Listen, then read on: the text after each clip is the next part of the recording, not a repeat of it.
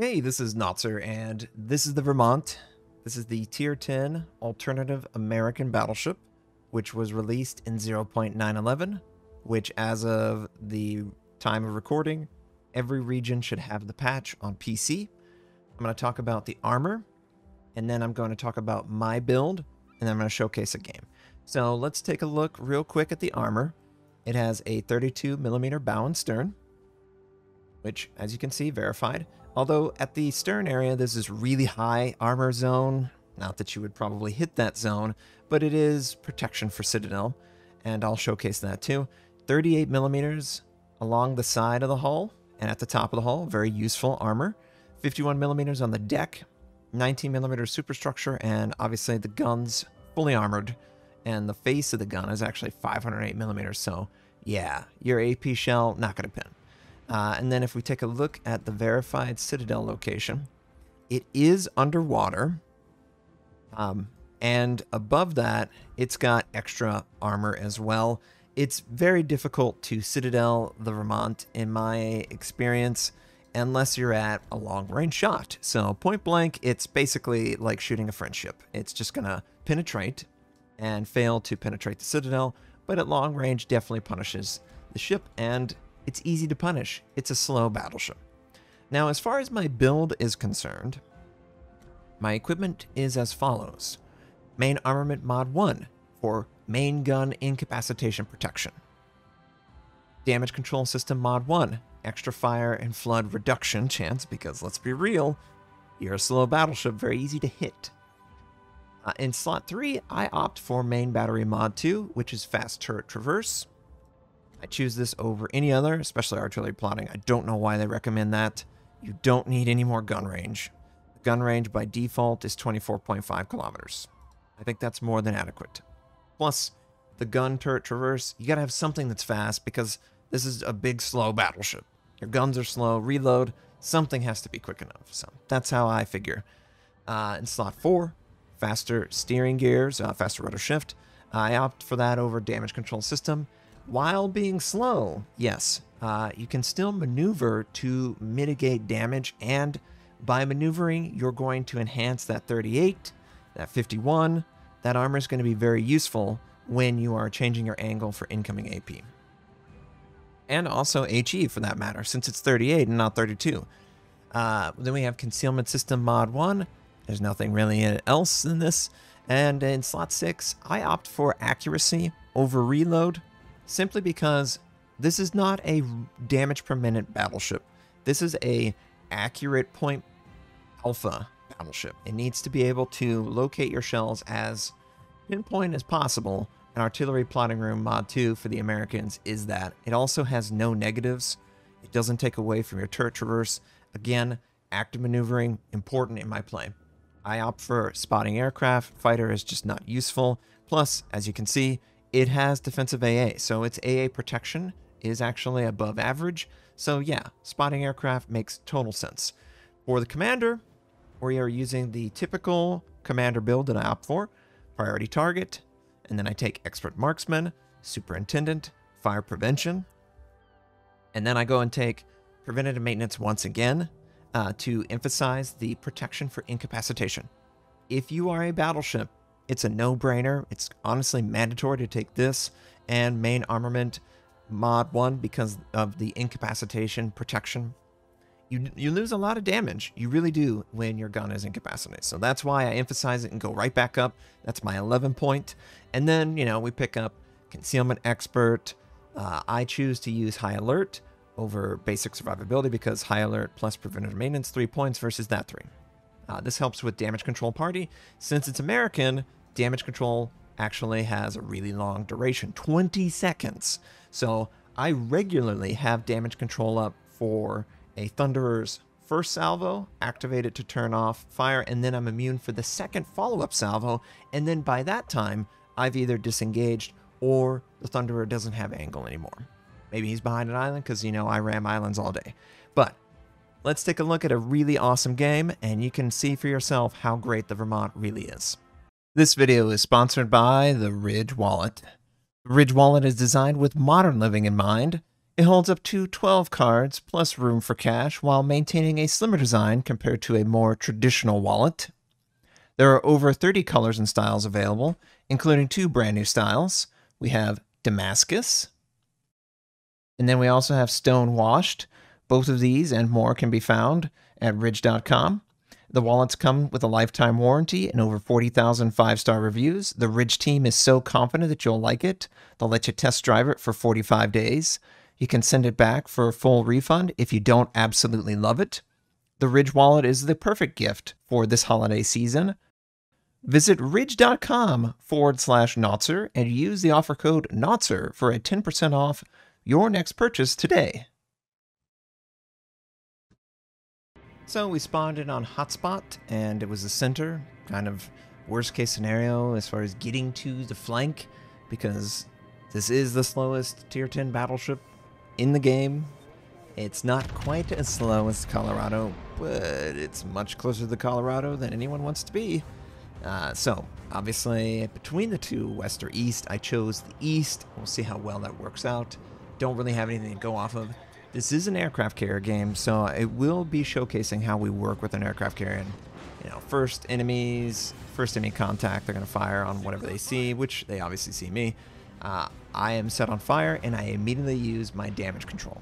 Now, why do I do that? Uh, I do that because the follow-up salvo and the intent to drop off. Now, enemy aircraft is kind of in the area, but we're going to try to reduce incoming as best as we can. And, ooh, hello there, Mr. Gearing.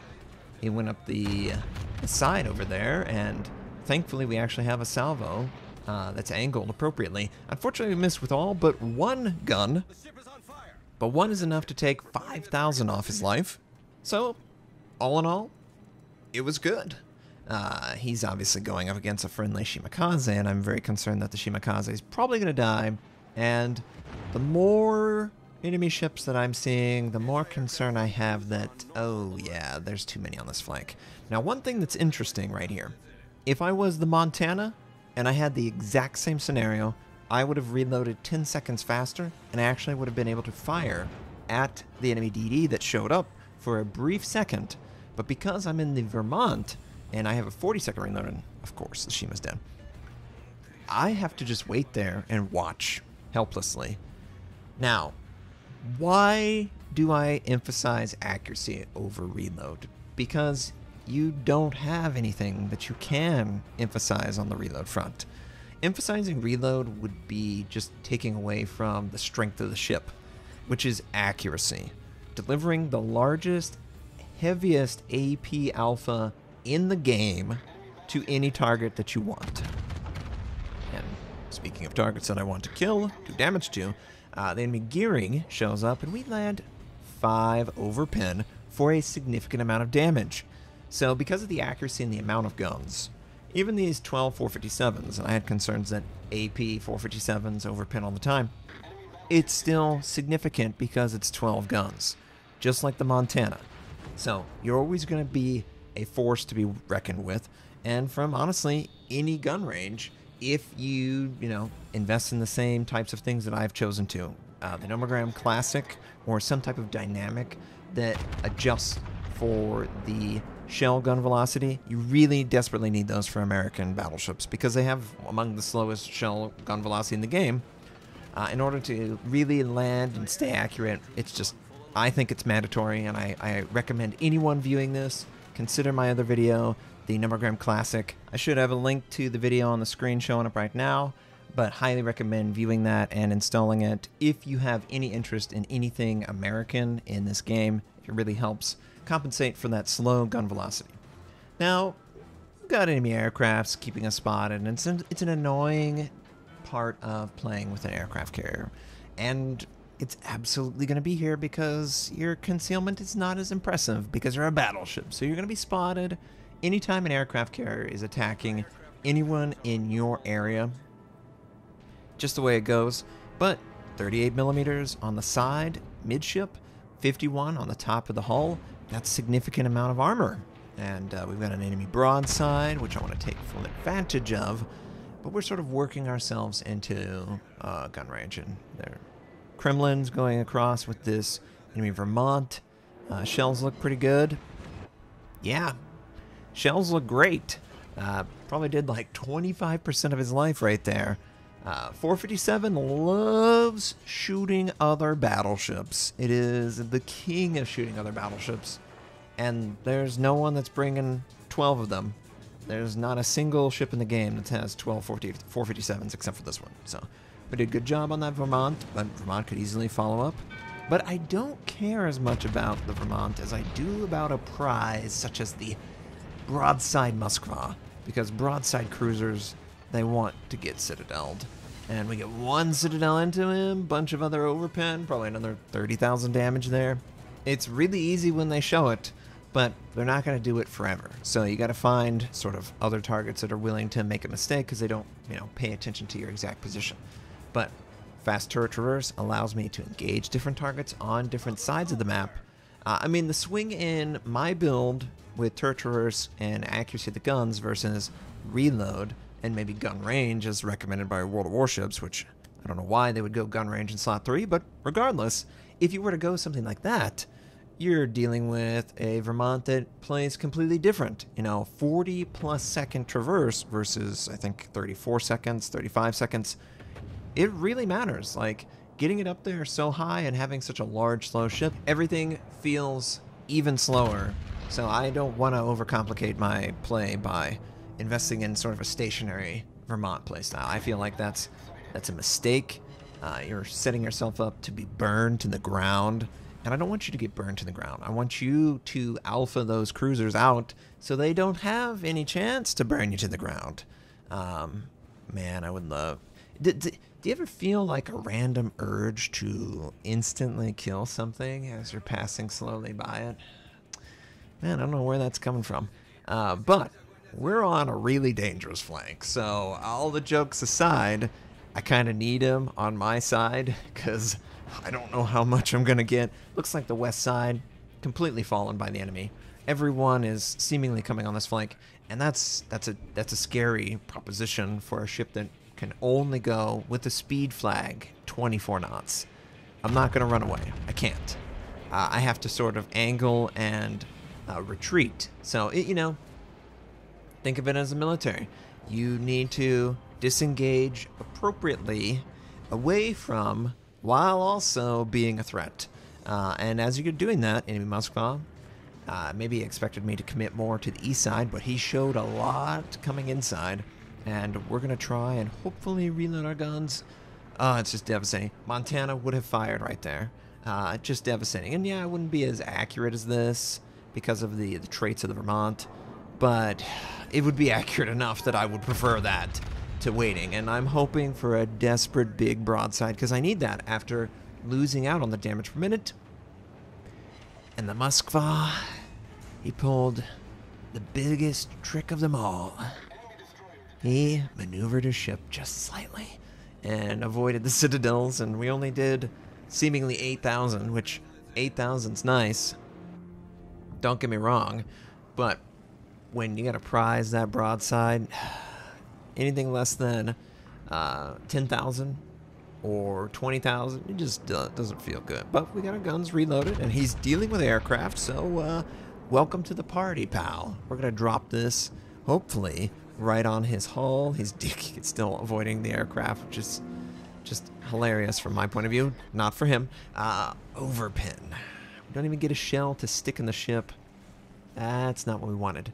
And the longer this goes on, the more concern I have that we will not be able to overcome because they have two bases.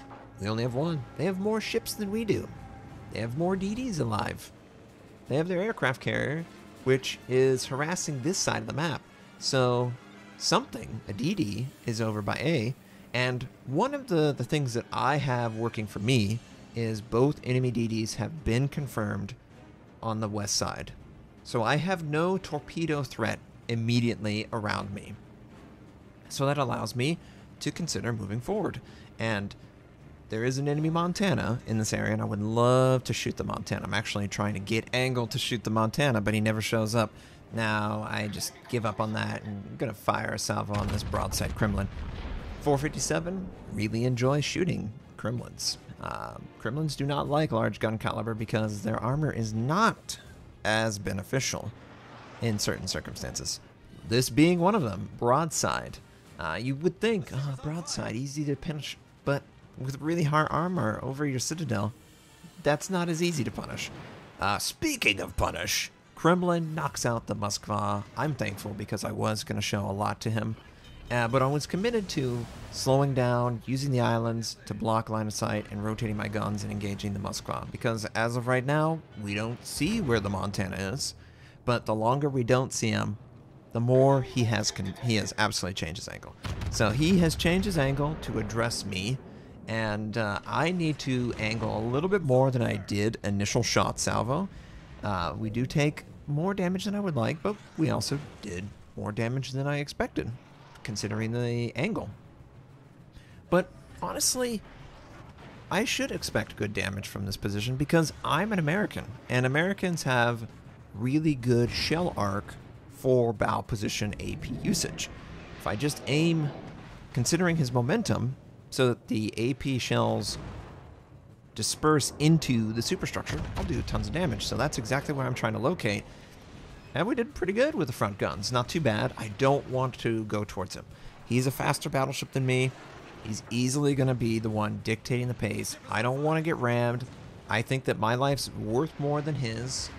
And honestly, based on the way people play, they seemingly think the same because I get charged every other game in my stream, seemingly. So I figure this guy wants to charge me and get a kill on Notser and know that his team is not going to have to deal with some you know, at this point, I want to be the unstoppable force for my team. But we got good broadside. Oh, yeah. What kind of German dispersion was that? Talk up the ship all day, and every shell save one disperses plus or minus at point blank range. Can't explain it. It's like the tide comes in, goes out. Can't explain it can't explain it. Um, but yeah, um, we're gonna be dealing with this guy, and I'm hoping the next salvo is gonna actually knock him out because this is ridiculous. Okay, he is showing more side than I am, and once again, the shells don't go for the citadel. We do get 14,000 damage, but the shells don't go for the citadel, and that's what we need because he's still alive. So I still can't afford to change angle. So he fires his front guns. We have good angle, though. Enemy aircraft kind of getting me in a, a Y formation, unfortunately. But he fires his front, then his back, and that is cue for me to show more angle, use my back guns, and use my front guns. And we're looking for the knockout punch. Nope. But the front guns do. Took way more damage than I ever meant to, uh, but we're still alive. And we're going to capture this base. There's two enemy ships on this flank only one more other than those two, and he's near the center of the map, so I'm going to use the inside island to keep whatever enemy angle away from actually damaging me. Same goes for the Kremlin. I want the real prize. I want to see that audacious pop like a pinata to my 12 457 guns. It's one of the most satisfying things in the game to see a giant broadside, and I can't wait to do this to this guy. Well, obviously we're capturing, and I'm excited that he didn't end up actually attacking me. I think he tried to attack the friendly battleship that's pushing forward because he obviously is probably spotted, which is cool for me. Uh, we're going to capture the base, and I'm going to just make sure, yes, optimal angle, engage, 12 guns, uh, enemy aircraft is incoming, so I also want to activate my defensive AA, but we're going for the big one. 37,000, one Citadel, ah, it's big. It could be bigger, though. So, we're gonna clearly wait on the guns to reload, and uh, gonna try and knock them out. Uh, enemy aircraft carrier, yeah, you keep attacking us. That's okay. We have spotting aircraft. We can see over the island and stay 100% accurate. Another broadside. Knock this guy out. Come on. Don't let me down. Give me a big old W in this. Oh! Barely didn't kill him. I think we did 99% of the remaining 100% life on that guy. Uh, friendly Kremlin takes him out. Uh, but that Kremlin, he did a good job. He knocked out that Moskva and saved my side. And this ended up being a great game. And uh, of course, the aircraft carrier, he's coming. You know what? I'm going to commit to angling. While angling actively to avoid incoming, I am still able to keep up with my gun turret traverse and fire on the Kremlin when he's broadside. And the enemy Audacious, he misses the attack. So definitely recommend the build. Definitely thrive with this build. 200,000 damage, and there's still four minutes left. You could easily do 300,000 in a Vermont, and that's a lot of damage. That's more than enough damage to have plenty of influence all over the map. And, you know, this ended up working out really nicely. So I hope that the techniques and the recommendations come in hand. Uh, I love the playing the ship. I honestly love American battleships, but I really enjoyed playing the Vermont. And yeah, it's just another one in the tool chest that you can choose from. it. mmm, good, accurate shot. Earned Confederate there. He's taking a broadside aircraft carrier. Uh, I am hoping my front guns can angle, but doesn't matter. Game over. And uh, what can I say? Vermont, really enjoyed playing it. It's more of the similar American Battleship feel, and uh, I'm on an American Battleship high. I love it.